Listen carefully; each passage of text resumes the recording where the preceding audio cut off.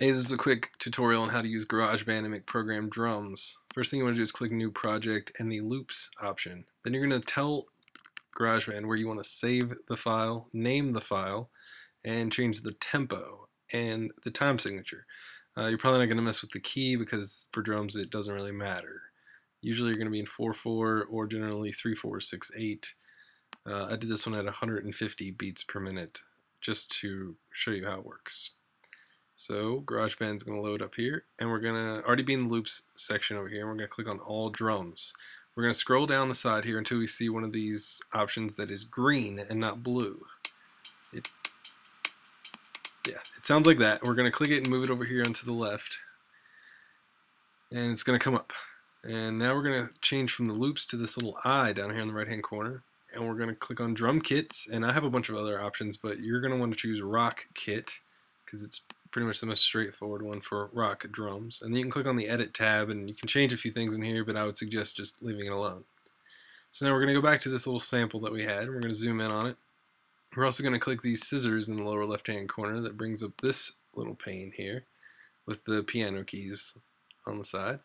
And that shows you each individual drum beat for that thing. We're going to click on one, we're going to go up to edit and cut so that it's on your mouse thing and we're going to just uh, delete the whole thing.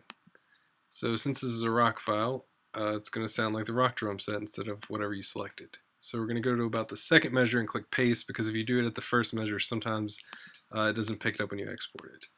Uh, make sure the velocity is all the way up to 127 and that the length is about two bars or just one bar or however many you want it to be, but that way they're all consistent. Uh, drag it down to the bass kick because bass kicks are pretty important and we'll go to the next tab over and paste it. Just copy and paste it over and over as many times as you want. Uh, there's eight measures for a bar here, obviously, in 4-4 time. So we'll play it. It'll sound like this. Pretty simple and straightforward drum kick. Um, if you like that, you can turn the, met the metronome on or off by clicking down on the right side. Uh, next thing you're going to do is you're going to click on the command button, also known as the Apple key, and then click, and that makes a new note. So you're going to want to make this note the same length and velocity as the first notes, and you're going to want to change it to the snare option. Pick whichever snare sounds better to you. And we're going to put it on the third bass kick because it's going to sound good like that. We're going to copy it, and we're going to move back over here. And we're going to put it on the seventh bass kick because that, that's how drums work and we're going to paste it on there. And now you have drum and snare. Sounds like this. Alright now it's time for some cymbals we're to do the same thing. We're just to apple or command click. Move it all the way to the beginning change the velocity change the length. And we're to move it to the hi-hat because hi-hats sound good. So there it is on the hi-hat. The open the most open hi-hat. There we go. We're to copy it and we're to paste it at 1 and then at 3 we're going to paste it at 5, and then again at 7. And you have hi-hat, snare, and bass kick sounds like this. Nice little two-step beat. Now we're going to select the whole thing, not the individual notes, but the whole thing at the top. We're going to copy it and paste it. You can do the uh, Command C and Command V, copy and paste respectively, or you can go up to the edit thing uh, and click on it if you'd rather. As you see now we have two of them, so we can select both of them, copy both of them, go to the end, make sure you stay online with the measure there, and paste it again, and listen to the whole thing.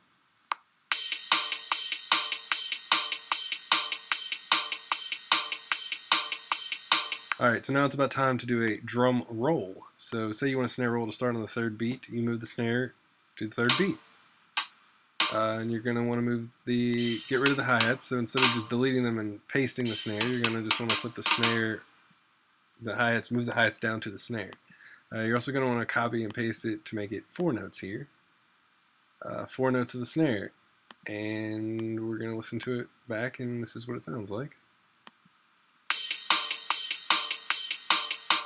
Yeah, not really a snare roll, not as fast as we want. So what we're going to do is we also need to get rid of these bass kicks because we don't want bass kicks over the snare roll. So we'll just delete those. And then we'll take these snare rolls, we'll highlight them, select uh, the end of one and drag that to the left, and it makes it half as long.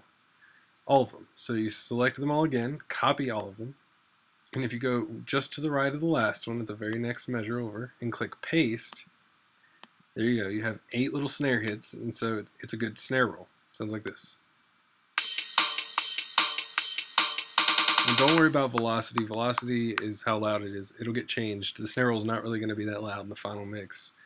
Um, what you're going to do and do is copy it again and paste it because you're going to go and just start your next your next bar. Uh, except this time we're going to change it up a little bit.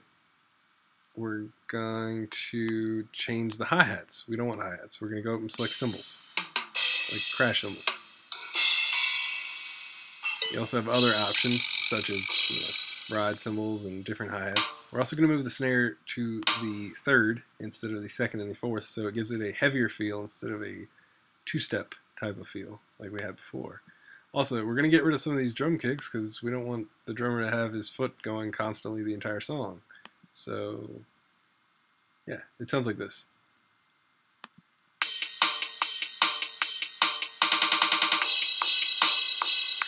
Alright, I guess that was okay. So what we're going to do is copy it and we're going to paste it again afterwards. So that way we keep up with the, the, uh, style here. And let's see what do I do? We're going to change the bass kicks on the second one because you know, bass, the drummer doesn't play the exact same thing every time. So I'm not really happy with that. So say you want to add double bass kicks. So we're going to take these first two bass kicks here. We're going to we're going to do the same thing we did with the snare. We're going to roll them back to half as long. We're going to copy them. We're going to go just to the right of the first one and we're going to paste. That way we make it a double bass kick the same way we did a snare roll. And we're going to listen back to that.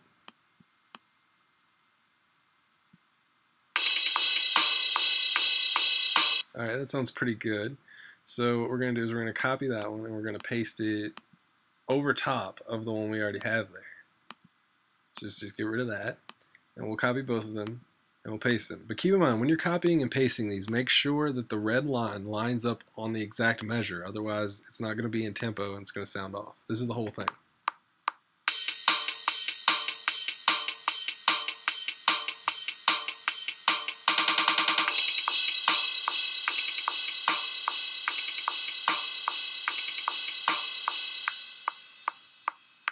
And that's pretty much it. You're just going to want to go up to File and save it.